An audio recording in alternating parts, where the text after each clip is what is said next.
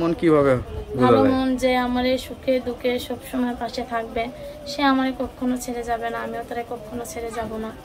এরকম একজন মানুষ। সে আমারে দুই বেলা গোস্ত মাংস না খাইতে পারে দুই বেলা ডাইল ভাত খাইতে পারবে।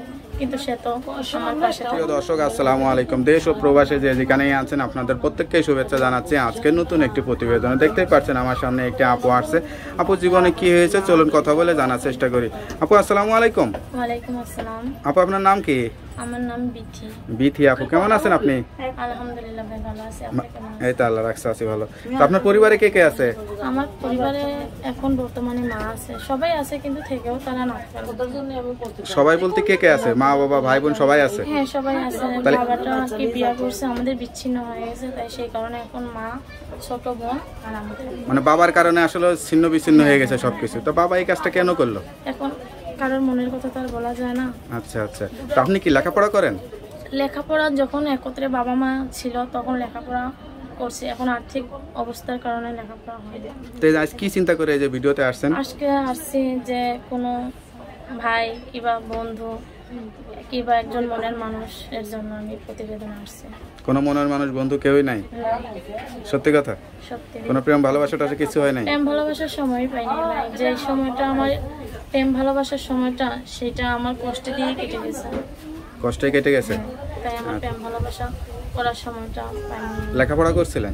লেখাপড়া করছি। কোন ক্লাস পর্যন্ত করছিলেন? এইট পর্যন্ত। এইট পর্যন্ত করছিলেন। তো আর একটু করলে তো এসএসসিটা পাস করলে তো একটা চাকরি বাকরি করতে পারতেন। আপনি তো লম্বা ছিলেন। আমার হ্যাঁ। পড়ালেখাটা করার অনেক ইচ্ছা কিন্তু আমি করতে পারিনি। এখন ইচ্ছা আছে যে ছোট বোনটারে পড়ালেখা করাবো।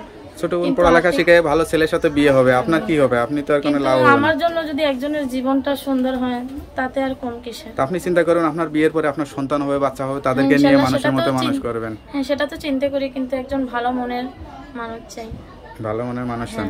ভালো মন কীভাবে ভালো মন যে আমার সুখে দুঃখে সবসময় পাশে থাকবে সে আমারে কখনো ছেড়ে যাবে না আমিও তারে কখনো ছেড়ে যাব না।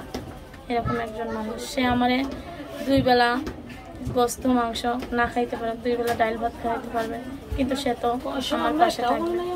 এখন কি এখন কি খাওয়া দাওয়া করতে পারেন ঠিকঠাক মতো? আর কি কষ্ট হয়ে যায়। কি খাইতে ইচ্ছা চায়? ইচ্ছা করে যে কিনতে কিনে খাইতে পারেন না? মানুষের লোভ লালসা সবারই আছে। তো খাইতে অনেক কিছু মন চায়। কত সময় নিয়ে আসতে পারি কত সময় পারি না। আচ্ছা আচ্ছা। তো যাই হোক একটা মেয়ের জীবনে সবচেয়ে বড় ঠিকানা হলো স্বামীর সংসার। সেই সংসারে গিয়ে যদি ভালো থাকতে পারেন তাহলে আর কোনো কিছুর প্রয়োজন হয় না। সেটাই। আর কোনো ইচ্ছা ছিল যে একটু অভিনয় টভিনয় করি নাচ টাচ করি। এরকম? ইচ্ছা না ইচ্ছা এখন এখন মূলত ইচ্ছা আছে সামনে এগিয়ে যাওয়ার যে একটা ভালো মনের মানুষ চাই যে আমার দায়িত্ববোধ নেবে আমার এই কষ্টের কথা শুনে যে আমার পাশে দাঁড়াবে যে আমার আর্থিক সমস্যার পাশে থাকবে। যে আমার পাঁচ ওয়াক্ত নামাজ পড়ার তৌফিক দিতে পারবে কোরআন শরীফ পড়ার তৌফিক দিতে পারবে অতটুকু তা আপনার ঠিকানা কোথায়? আমি থাকি পাবনায় আচ্ছা তা আপনার সঙ্গে কীভাবে যোগাযোগ করব? আমার একটা ফোন নাম্বার আছে এখন আমি বর্তমানে ঢাকায় আছি। বর্তমানে ঢাকায় আছেন? আচ্ছা তা আপনার নাম্বারটা কি মুখস্থ আছে? হ্যাঁ নাম্বারটা মুখস্থ আছে। তাই একটু বলে দেন।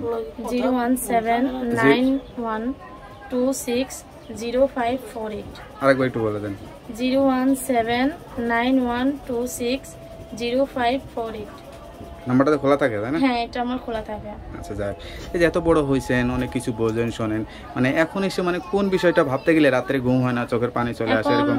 মূলত বিষয় হয়েছে যে একজন মনের মানুষ চাই পাশে যে সুখে দুঃখের কথা বলার জন্য সব কথা মা বাবা সামনে শেয়ার করা যায় না। এরকম একজন মনের মানুষ চাই যে যার সঙ্গে আমি সবকিছু শেয়ার করতে পারব যে আমার সঙ্গে করতে পারব। আপনার এই কথা শোনার জন্য তো লক্ষ লক্ষ মানুষ ফোন দেবে যোগাযোগ করতে চাবে। আমি একটা কথাই বলতে চাই যে দর্শক ভাইয়েরা সত্যিকারের জন্য আমার পাশে দাঁড়াবেন কিংবা হেল্প সহযোগিতার জন্য। আর এবং কি মনের মানুষের হিসাবের জন্য যে দাঁড়াইবেন সেই একমাত্র ফোন দেন এছাড়া বাড়তি মানুষকেও ফোন দেন যাই হোক, আপনার কথা ভালো লাগল আপনার কথার মতো যাতে আপনার জীবনটা হয় সেই দোয়াই করব। আর সবচেয়ে বড় কথা নামাজ কালাম অবশ্যই পড়বেন পড়ে আল্লাহর কাছে দোয়া করবেন ঠিক আছে আমি কোরআন শরীফ সেটাই। তোকে আপু ভালো থাকেন দোয়া করে আসসালামু আলাইকুম।